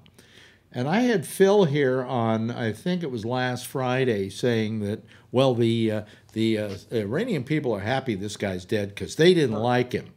Did you see yeah. how many people were in the streets of Iran? Yeah, there was a, they had a big crowd. They big had 40 people die being trampled to death at the funeral. 50. There was more people getting was it 50? I'm sorry. Oh my god. That's so true. yeah, I mean, huh? It, it, it's kind of like uh, you know, an analogy I was like thinking is Hitler. Hitler was a pretty bad guy, and I don't think there was a whole lot of people that liked him. Right. Okay. But General Rommel was a well-respected tank commander, right? Mm-hmm. General. Hero. Even even Patton said, "I've studied his book. I know all about him." you know, was Rommel a terrorist? No, he was simply a guy fighting for his country, and that you know, and this guy trying to portray him as as being this absolutely horrible person, and I, I, I you know, um, in spite of the fact that all he was doing was was fighting for the home team, as it were. You know what I'm saying? Yeah, and, and he killed uh, he, he trained people. He didn't kill anyone. He trained a lot of people, and, and you know, while he might have killed some people when he was younger, but but all the ISIS, you know, the the the the, Sun, the Sunni Muslims, yeah, are in in Iraq, and they were, you know, killing pretty much the Shia. So yeah. he went from Iran, which is Shia, to Iraq to, to Get, kill the Sunnis. Kill, kill, the Sunnis, yeah. Which are ISIS, basically, right? What so was what he, was he was actually on our side for most the part of the you know this yeah. last. Yeah. What was uh, what was um, Saddam Hussein? Was he Sunni or Shia? I can't remember. He was Sunni. He, he was, was Sunni. He's Sunni. Yeah. Yeah. Yeah. yeah. Uh, and and the Iranians are Shia. Yes. Okay. Mm-hmm. So uh, you know, but all I'm saying is the United States is their enemy, you know, plain and simple. Um, and so you're going to go fight your enemy. Yeah. And you're going to try and do the best you can in fighting your enemy. And the United States was in Iraq killing other, I got to get it right, Sunni. Yeah. Yeah. Yeah. So, yeah. so of course, Iran wants to protect their brother Muslims, you know, and and and, and pretty much the way the way Malcolm Nance explained it is all the all the um, um, Shiite live yeah. in in that area, Yemen. I think Shia is the term for a group of them. Is Shia. Yeah, yeah not I, Shiites. I think it's Shia, if I'm not Shia, mistaken. But it, yeah, it, it, and it and, and, but anyway, uh, and I, I knew I knew you know through words and whatnot uh, quite oh, you know four, five, six you know, Iranians yeah. And you know, they, they, they were great people, I thought, you know. Yeah. Third, yeah. So, yeah. Well, anyway, uh, so, I mean, um, um, I just felt that, uh, and on top of that, our uh, Secretary of, of State couldn't come up with the goods when asked, well, what exactly mm-hmm. Did he do? You know, what exactly was he going to do? Why was this justified? He kept coming up with all these answers that didn't really add up to anything. You know, at, at the beginning, he said it was imminent, and then he's like, "Well, uh, you know," and then they came. Oh, well, they were going to bomb the embassy. Yeah, that's what it was. Yeah, well, uh, usually they will bomb our embassy if they get the chance. Okay, anybody. I would they, bomb our embassy if I had the chance. All right. Aw, it's a nice embassy. Huh? Didn't oh, they, they, oh no! I, will tell you what I did once. This, this years ago. I, I what happened is Kent State happened. I don't know if you remember the Kent State incident, but yeah. the students at this college were uh, shot by the ROTC. Four of them got killed, right. and that happened while I was working at WMCA here in New York. And Ronnie and I had to go on, had a vacation plan to go to London. And I said, I don't know if I can leave because uh, this whole thing with Kent State is taking place and I've got to be here to help protest it and so on. She said, You've taken a year without a vacation. You're taking this vacation. Okay. So she grabbed me, she tore me away from my post and we got on a plane and we went to England. And we booked into this hotel. We booked into a fairly fancy hotel on uh, the square. Okay. I'm trying to remember the name of the hotel. It's a very famous hotel. And um, we go to sleep. We wake up the next morning, there's cheering outside. And I'm thinking to myself, what, what's going on out there? And I open up the windows, and there are mobs of people protesting. And what are they protesting? On the other corner, other side of the square, was the American Embassy. Mm. So I went out there with Ronnie and we went and threw rocks and stones at the American Embassy. a new story, a story I've never heard on yeah, this show. Yeah, yeah. And I haven't thought about it till now. Okay, that's wow. great. Yeah, no, we, we, we threw rocks at the American embassy. And it was, and the, the British were very nice to us. They would go, "Oh, you're American," and uh, we're so sorry for your loss. I mean, they were they really, you know, said we we hate we don't hate you, but we hate your government, you know. And I said, mm-hmm. "Where? Give me a rock," and I threw it at the American embassy. The other thing they did, this is great. The British are very civil in their in, in how they handle their protests. They figure the best way to handle a protest is to not go in with clubs and stuff and cars and tanks and stuff like that. Go in with horses.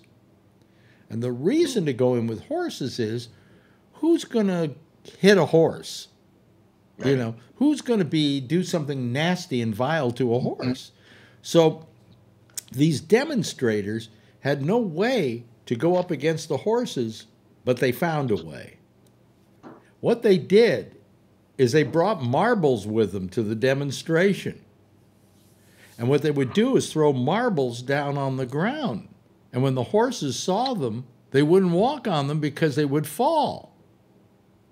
So they mm-hmm. stopped all the horses by throwing marbles down on the ground. In case you ever have a demonstration where you know they're going to be horses, you know how to protect against the horses. You know. So but that was that, that, that demonstration, and I felt very good about it. I said, well, now I feel okay that I left. You know, uh, this is terrific. So anyway, that was that. That was that. And, you know, that's my story. I'm sticking to it. And I got 20 minutes left until I go, can go pee because this operation he did the other day has caused me to pee a little more than I normally would. Mm. This is this is going to be a real pleasant uh, uh, process but I'll live another year and a half. So you know, um, yeah. And you should get more than that. Huh? Well, it's, at least it's quick though. A couple of days. Treatment. Yeah, but the after, you know, the after effects, the the uh, oh. side effects are they're not brutal, but they're annoying. Okay, I mean those those depends. At Costco are getting to look pretty good right now you know. Oh. My mouth's got a whole box inside. You know, I'll be doing the show if I feel like I'm feeling now. I'll be doing the show after all of this and say to you, "Keep talking. I got to go pee right now." you know, and that'll go on for a couple of months. Uh, let's see here. What are people writing? Forbin Colossus is about the only one out there writing anything. However, we have a lot of people watching us tonight, and we've only got what three people here. My That's God, crazy. you know, uh, Charlie, who do you feel is uh, going to win yep. the nomination?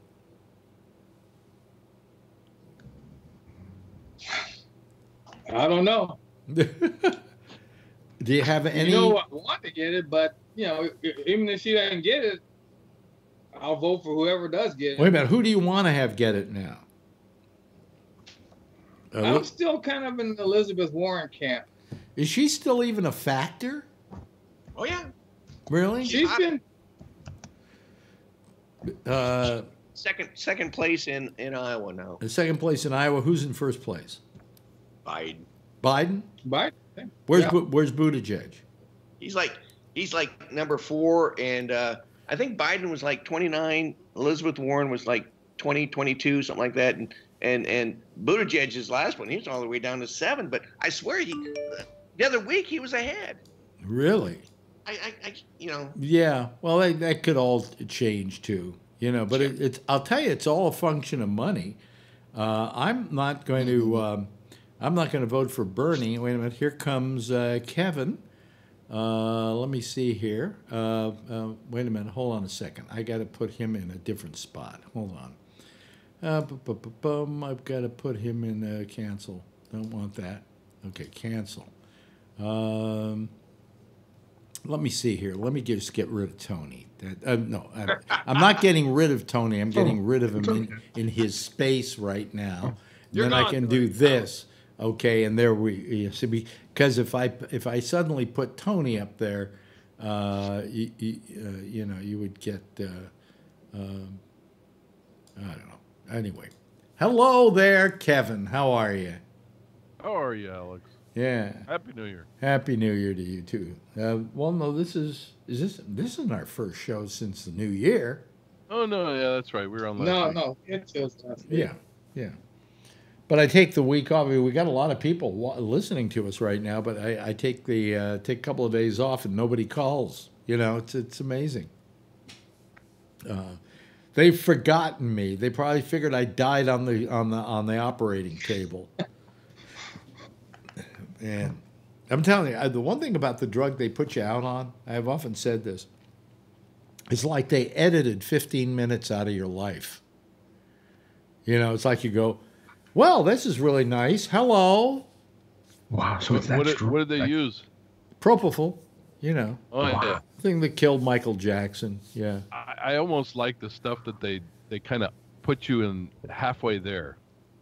Well, this is, from what I understand, this I don't know. I should I should have asked the the uh, the anesthesiologist about the drug itself, but I think it's what they call a twilight drug. It kind of puts you out, and you you you don't feel anything, you don't know anything's going on, and then when they stop it, you just come to, you know. And the advantage when they, that, that, when they put that implant in, I was awake the whole time, but I felt like I was gone. But I was awake, but yeah. I was gone. But I was, but I was awake, awake, but I was gone. gone. Yeah. so you're kind of drifting, man. Yeah. Are no. you cutting me open? Yeah. Okay. Oh my God! So you didn't. Wow. Oh yeah, I was I was wide awake and they were talking to me, but you know, they said, uh, "How you feeling?" I said, "Well, I feel a little funny." Okay, well, we'll give you a little bit more. Well, the next one, I'm going to be out for about an hour, 45 minutes to an hour. Yeah, yeah. that's when they really knock you out, probably. No, I was pretty knocked out on this, but my hand started hurting like crazy. Where the, you know, because he said it would uh, hurt yeah. a little bit when they put it in. And oh. then I went, my whole hand was like, oh, I was in pain. And he said, "I'll put." He th- put, threw a numbing agent in there. Oh yeah. So that it would uh, would go away the pain, you know. But it's a it's a good drug. I mean, it's great the drugs and everything, you know, and the fact that uh, when you when you go out, you wake up and it's all over. It's been done. Yeah. You know. Uh, and as I said, the fact I'll, that you wake up is the good part. The the good part is that you wake up. Yeah. Yeah. yeah. Uh, you know, I mean, it's and I, I don't, I, I, I'll bet this doctor hasn't had anybody die on the table, or if he has, it was like of a cardiac arrest or something else that he, you know, you know what they do now though. The trouble is with with with hospitals and doctors, they are so afraid of getting sued that they cross the T's and dot the I's, right?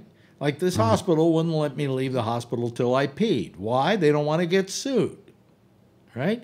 Uh, they had me go to my doctor at a cost of a copay of 26 bucks to me to get a, a, a whole setup to make sure I was okay for an operation to be put under anesthetic.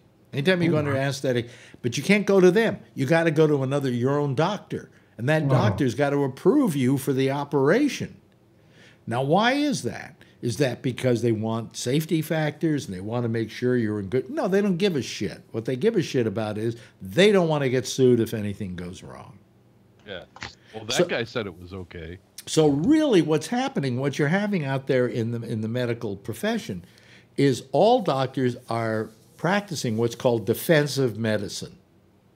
You know, mm. they're not doing what they think is best for you. They're doing whatever they think is safest for them. And so, and, you know. And I'll, I'll tell you from experience that when you do sue, they sue everybody that was touched anything. Really? Even the parking lot that you parked your car in. Why were you involved in a suit like that? Yeah. Yeah, and they did sue everybody, including the guy who took your took your ticket, everybody. your car at the parking lot. Even lot. the guy that opened the frickin' front door. Yeah, yeah, really. And they just slowly eliminate them as they go along. Wow. Yeah, it's yeah. it's amazing. Well, you know, I mean, I think that doctors should be able to be sued for malpractice. However, they shouldn't have to be as frightened as they are of everything. I mean, I can't tell you how many forms I've signed. My doctor today, before I was going in to get the setup for the radiology, had me sign a form, a release form. And I will also tell you from experience that when you get those forms, when you're in the deposition, that they take those forms and they go, eh, that's nothing. Well, I mean, I you know I don't you know. Signed this? Yeah. I don't. I, I don't know what I was signing. I could have been signing away my firstborn child, although that would have been a long time nothing. ago. It's nothing. Yeah, put that over there. No worries. Oh, really? Oh, oh yeah. Okay. You know that, that means nothing. Piece of paper. Yeah, it's a piece of paper. well, you know, it, it, it was a lot of work. You know, uh, doing. But anyway, so uh, so uh, I, I I can't tell you how many forms I signed. Oh, by the way, the question I was asked constantly by any person I would be doing anything with, whether it was the anesthesiologist or the assistant to the anesthesiologist or my doctor or the people, every one of the people at this uh, at this radiology oncology place that I went to today. They all keep asking the same question over and over again. What's your What's name? Your what? Oh, what's, what's your, your birthday? And what's your birthday? And what's your birthday? Why do they do that? They, they asked me that when I went to get my blood, and I've gone from the front room to the back room. What's your name? What's your birthday? Just to get your blood today. Is that to make sure you're not the wrong person? Yeah. Well, there could be uh, another Alex Bennett in the building at the time. Yeah. Those other two people in the building. Yeah, but is there another Bennett Schwarzman? well, that's true too. You know. the legal thing, I guess. Yeah. That, yeah, fine. You know. I get. You know, I use. You know what you do? You what? just hand them your damn driver's license, and it's got everything on it. Look it up. Uh, she went through all my drugs. Oh, uh, the, I guess she got oh, them yeah. from like community Walgreens. A whole list of them. Of course, half the drugs on there I'm not even taking anymore. They just happen to be on the list, right? And I tell yeah, her, yeah. yes, yes, no, no, yes, yes, no, no. Then yesterday, when I leave, they hand me a list of all my drugs, and all the ones that I said no, no, no on are there. They go through them again. yeah, yeah. So I'll have to go through them again the next time. Yeah. I just I just print out a list. I keep them on my phone, and then I just print out a list, and I bring it all in. Yeah. I go compare it. Well, you're. oh no, we don't want that. You see, you're well, used. I just printed it out for you. You're used to oh, this. We don't want that. You're used to this. I have in my lifetime never had an operation. I've never had surgery. You know, the yeah. the most well I did when I was a kid. I had a tonsillectomy, and by the way, they used ether in those days. And you want to talk about something disgusting? I even remember it to this day. Okay it, it wasn't like you went out and then you woke up. You went out and then you woke up two days later because you were so groggy, and you vomited because uh, the smell of the stuff was horrible. Today it's it, it, it's pretty good, but I mean, uh, so far as actually a, an operation, this is the closest I've come to it. And these these aren't even really these are considered surgery. What I had the other day was considered surgery, but yeah. it's not surgery. You know, it's not. He cut into you. No, he didn't cut into me. He punctured. Well, he had me. to replace the gold in there, right? He had to put and the gold in there. He had to put the gold in there. Yeah, yeah. Yeah, you know, I feel like the treasure of Sierra Madre. Uh, you know, uh, look what we just found in Bennett's prostate. Gold. yeah, we struck gold. You know, um, I could be an ad for Lucky Charms or something. You know, they're magically delicious.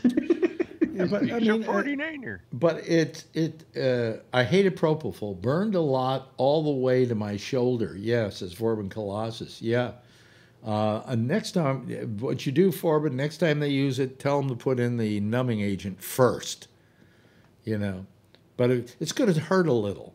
Oh, really? I mean, my hand felt like it was like I wanted to chop it off. It was hurting so much. That, that's the worst pain I've had in any of this. You know. So I'm, I'm going to ask him next time if there's anything he can do about it to prevent it from hurting that much because it was not good. Thank you, Forbin. I, I, I thought maybe I was the only one.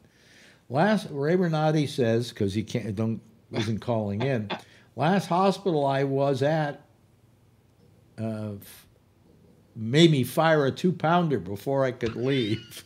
oh you know what it is? This is the other thing that's so demeaning about it. I say to the nurse, I make pee pee. you know, come on. You know, I went doo doo. I mean, come on. You know, it's ridiculous. It's they just, did the same thing to me, you know, and I don't pee on stage, and they're standing outside the door. Did you pee yet? Did you pee yet? no, I don't piss on stage. I'm sorry. No, but also, also, uh, also, as I talked about, it, they give me this thing with a handle on it and a big hole in it for my penis. Uh, and and and I have to say I almost didn't fit, but I don't want to brag. And uh, uh, uh, you know, and I'm standing there with this thing, and I'm. Uh, she's saying, "Are you going to go?" And I said, "Would you close the curtain, please? I'm sorry. I, I, I need when I go to the bathroom. I have to tell you this, folks. And this is TMI, I'm sure, for most of you. Uh, uh, the too much information is I have to go into the stall to pee. That's what I do too. So I'm not going to be standing next some next to some guy in a urinal. I need my okay. Is, am I wrong? You know, I that, do oh. too. Right. I, I don't like so, standing. So now, now you've got the curtain open, and you want me to pee in this bucket? Come on. You know. Like I'm gonna give you a hand. So he had to close that, and then Marjorie's going from the other side. Did you go yet? Did you go yet? exactly. Exactly. Don't ask me or I won't be able to go. Did you go yet? And then finally I had a good stream going and I look at it. Oh, that was good. And it didn't even get up to the 100 spot. Oh, shit. You got to fill that fucking thing. Fi- no, finally. something that goes. Just throw it. This is as much as I can do. Finally, she just said to me, the woman said to me, it's it's okay. You know, you peed. You, you, we just wanted to make sure you could pee. You know. Oh, but I'm still peeing blood. You know. Not not yeah. a lot, but you know, uh-huh. it's it's there. Oh yeah, and that between that and the and the biopsy and all of that, I've got, as I say, my prostate looks like a pin cushion. Yeah. You know, I mean, come on, how much how much more damage do you want to do to my prostate? I know that after the radiation, I'll be lucky if I even get an erection, but come on, you know, it really, it's taking a licking right now, Alex. Oh yeah, I feel like they're beating up on my prostate. You know, it's like how much? And, and what did it ever do except get a little cancer? You know, it's amazing. It's amazing. So anyway, uh, Phil's not here tonight, and uh, that means that we can say anything about Trump we want to, uh, without recourse of having him suddenly explode. Um, and his perfect briefing. Hmm? That's what he said about his, his thing today. He had the most perfect briefing today. You do the hands. Perfect briefing. Everything. Everything is the most perfect fucking everything. What was the, what, what, what briefing was that? The one that he gave to to the Congress about you know what happened. Yeah, the, the Congress. That, uh, Pompeo gave. Finally, after a week. It was a perfect that, briefing. That's the one that he told everybody about what happened and, and why it happened. It the was the most perfect one ever. The one that everybody Mike told him that. Yeah. yeah, yeah. Hmm. This guy is out of his head. It, it, it, it's it's crazy. It's nuts. It's really nuts. Uh, the emperor and, and, has no clothes. And what was what was the word he mis completely mispronounced the other day? Oh yeah, yeah. yeah. Looks like me. What? I'm like, what the hell? Do you remember? You know what I'm talking about, he Scott? Said something. I said he sounds like me. Yeah, there were about three or four words he screwed up. He said, he yeah, said, it was like he was swallowing his dentures. Uh, what did what did you say, Scott? Accomplishment shades. Accomplishment yeah, yeah, shades. Accomplishment shades. What do you? Oh well, what is that exactly? What word is that supposed to be? He Accomplishment shades. You know something? I know this guy doesn't drink, but he should. He, yeah. he then have an excuse for this. Tolerated. This is the most. Yeah, yeah. This is the most inebriated. This is the no, most the inebriated um, non-drinker I've ever seen have in ever, my have life. Have you ever seen Jimmy Kimmel do the drunk t- Donald Trump? We, oh, we, wait we used we used to do that with uh, who do we do that? We did that with Bush years yeah, ago with um, yeah. uh, uh, Albert came up with it. You just slow down anybody, but what you yeah. do is you don't change the pitch. Yeah. You slow them down, but then you raise the pitch so it's their normal pitch, and they sound like they're drunk. It's perfect. yeah. It, it, Trump, Trump had a tweet today that they were making fun of too. In that he asked, he says, "Well, look at look at how look at your uh, 409k and see how well it's doing. Yeah. Wait a minute. 409k. Yeah. it's 401. What does it say here? Ray Renati says I had I had the most perfect ejaculation at lunchtime. oh Talk about me giving out with too much information. was ask me if it was a two pounder. Was it a two pounder? two ouncer. He said, today. Yeah. wow. Uh, you know, but anyway, it, it, you know, I just think we're we're we're in a lot of trouble with this guy. It's just gotten to the point where uh, it's just sheer insanity, and uh, every time I hear about it or watch it, it just it just grieves me greatly. And as I say, I know you're going to church and praying for him, but while you're there, pray for us too. You know, uh, we're we're we're being led by an absolute colossal moron uh, and and a psycho. I mean, he's he's not well. Mm-hmm. This guy is. Um, but hey, America, you voted for him. I mean, you, what you vote for? Yeah, you know. I didn't vote for him. Well, you didn't vote for him, and I didn't vote for him, and three million more people didn't vote for him than voted for the other person. But that didn't seem to work. That's why we have to double our efforts this time. And I don't yeah. care who the Rep- Democratic candidate is, uh, vote this guy out. That's all there is to it. I mean, Bloomberg. It, it, oh, I'll even vote for Bloomberg over Trump. You know something though, if I I will, you know why I won't vote for Bloomberg? I don't want to vote for anybody who isn't exactly running. You know, I mean, he's yeah. not doing much running, is he? He is pounding us with commercials he, out here. I'll tell you that. Yeah, and by the way, I'm not voting for uh, Bernie either, and I'll tell you the reason why. I, I get a, uh, a phone call, uh, one of these. Oh, oh no, it isn't a phone call. I get a text trying to get uh-huh. money out of me for. Bernie. I'm getting. I'm now getting uh, the equivalent of uh, robocalls as robo texts from Bernie wow. wanting money. Fuck you, Bernie. I'm not giving you money. You know, don't try to get money out of me that way. Okay. Anyway, hey, there's the uh, there's the ever loving theme song that we play every now and then on this here program, uh, and uh, we uh, thank you all for joining us tonight. Been a small crowd, but a vibrant one, and one that's uh, apparently the audience wanted to listen to because we had a lot of people uh, listening to us. Yeah. Yeah. They probably, want, you, they probably just wanted to watch it to see if I was dead yet you know, I'll, I'll let you know when I am, okay? And I'll, I'll do f- at least 30 minutes on it. Anyway, uh, thank you so much, Charlie. Thank you, Scott. Always a pleasure. Thank you, uh, Tony, and thank you, Kevin, and also thank Tom. Thanks to Tom Yamaguchi, who had to leave us early because he was having a bad signal. Uh, uh I'm uh, I'm through for tonight. Everybody, uh, why don't you give a big wave goodbye so that they can all see you go away. Bye bye. There they go, ladies and gentlemen. That's our citizen panel as we know it. There'll be another one convening in just a few moments uh, as Jack Bishop hosts the uh, hosts the uh, um, um, uh, the intersection. Okay. Uh, gee, I didn't. Did I have myself on? I don't know.